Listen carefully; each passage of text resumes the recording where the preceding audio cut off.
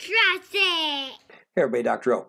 In this important video, we're going to cover the conducting system of the heart, the actual electrical system that allows the heart muscle to pump. I'm going to show you the, the six steps here on this image, and then I'll actually show you where these things are in the heart. So step one's pretty straight, straightforward. Nothing's happening. You can see there the EKG on the left. There's no there's no activity yet. So the SA node is is resting. This is when the heart is taking a break.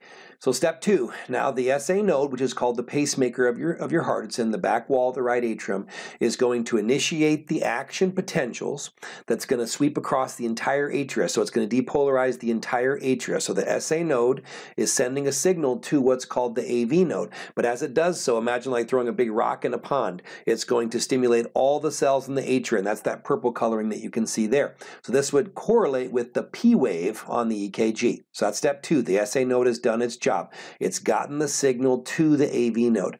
The cardiac skeleton is what insulates the rest of the heart and makes sure that this stimulus only goes there. It only goes from the SA node to the AV node. So now we're at step three, and this is a very important one. There's a delay of 100 milliseconds. So it goes SA node to AV node, atrioventricular node, but then there's a delay of 100 milliseconds. The reason that delay is so important is because that's what allows the atria to have time to contract before the ventricles get depolarized. So, so very, very important. All right, so then we have Number four, now the signal after this 100 millisecond delay, the signal is now going from the AV node to what's called the atrioventricular bundle, which when I was in school was called the bundle of His. You might still hear it called that. And then it's going to go into your left and right bundle branches all the way down to the apex of the heart at what are called the Purkinje fibers, and they're going to travel back up. Um, the other area that's being stimulated there, I'll circle it here for you, is called the moderator band. The moderator band is a little string of tissue that's going to actually um, connect to the papillary muscles. Hopefully remember them. The papillary muscles are the nipple-like muscles inside the heart. They're going to tense up right before the rest of the ventricle contracts to make sure that the AV valves are, are good and stiff. So that's called the moderator band. So that's step four. Um, step five, so now the ventricles have been depolarized. That was the QRS complex on your EKG there. Step five, this impulse is going to travel all the way through the ventricles. And then step six, the ventricles are going to contract.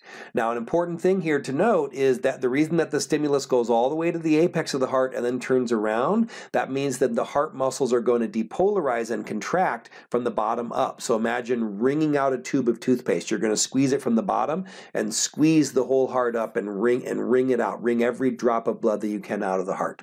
All right, so that's the conducting system. I want to show you the same pathway here, but actually in the heart. So we start again with our SA node, our sinoatrial node, our pacemaker and it's going to fire off that signal to the AV node. So SA node to AV node. While it does that, it's going to depolarize all the atrial muscle cells, and then your two atria are going to contract, and their job is to help fill the ventricles. SA node to AV node. It's going to sit there for 100 milliseconds, buying the two atria time to contract. Then the AV node is going to fire off that signal to the AV bundle, also known as the bundle of His and then to your two bundle branches, the left and right bundle branches, then to the Purkinje fibers, which you see there, then that signal is going to turn around and it's going to depolarize the entire ventricle from the bottom up. Then when the ventricles are going to contract, it's going to wring out the heart from the bottom like we already mentioned.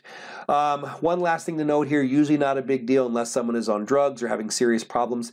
The AV node can only send a signal about 220 uh, beats per minute, which that's the AV node is what's going to set the maximal heart rate. So again, unless for except for extreme circumstances, your heart should not be able to beat faster than the AV node can allow, which is which is 220 beats per minute. Okay, um, I think that's going to be it. Just remember that, that that's why those Purkinje fibers work their way back up from the bottom. So you wring the heart out from the bottom up, and it's much more efficient. You know, next time you brush your teeth, try squeezing the tube of toothpaste in the middle. You'll see it doesn't work very well. Squeeze it from the bottom, and it's going to be a much more efficient pump. Okay, so that's the conducting system of the heart. I hope this helps. Have a wonderful day. Be blessed.